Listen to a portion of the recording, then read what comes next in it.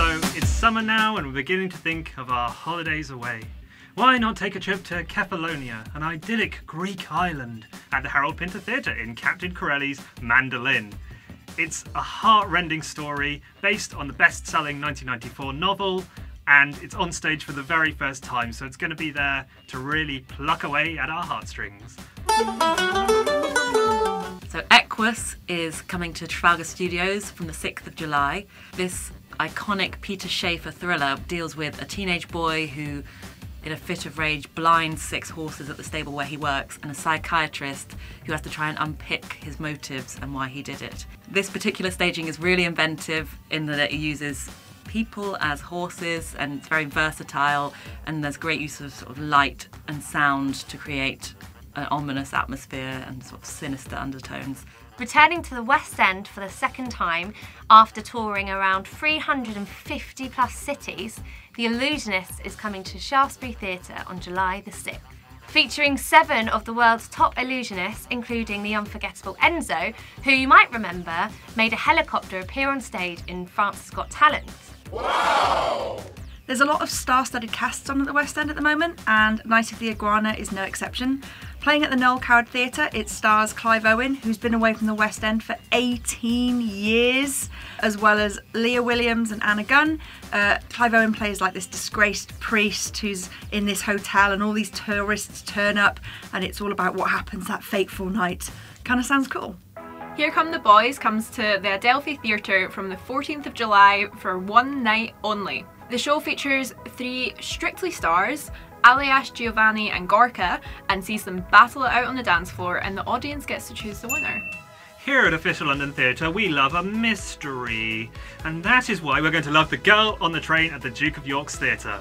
It's based on the book, also later turned into a film, uh, which has sold over 20 million copies worldwide. It's all about someone who is both a witness and a suspect in an interesting case.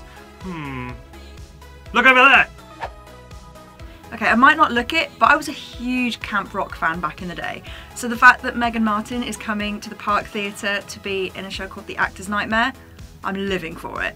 It's all about this sort of satirical look at New York theatre uh, and it's by a Tony award winning playwright as well so it's going to be amazing. Also on at the Park Theatre as part of their exciting new season of plays is The Time of Our Lives.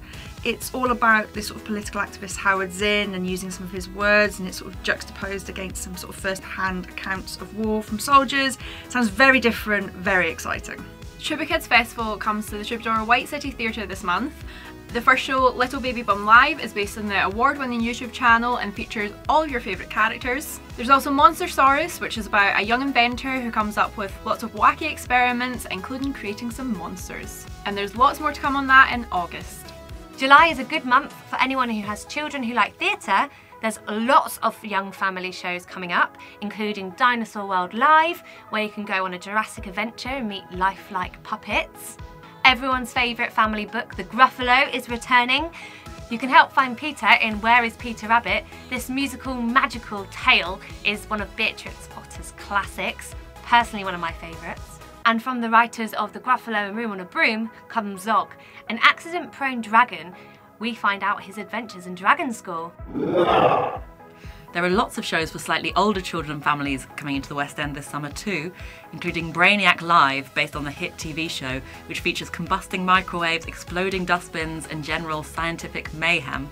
Sally Cookson's much loved National Theatre production of Peter Pan is flying into the Troubadour White City Theatre this summer, apparently featuring incredible aerial acrobatics. And finally, The Worst Witch, a new musical, is coming into the Vaudeville Theatre based on the beloved Jill Murphy series of books, which I used to love as a child, featuring accident prone Mildred Hubble at Miss Cackle's Academy for Witches. July, July, July. Say it five times. July, July, July, July. July. I can't count.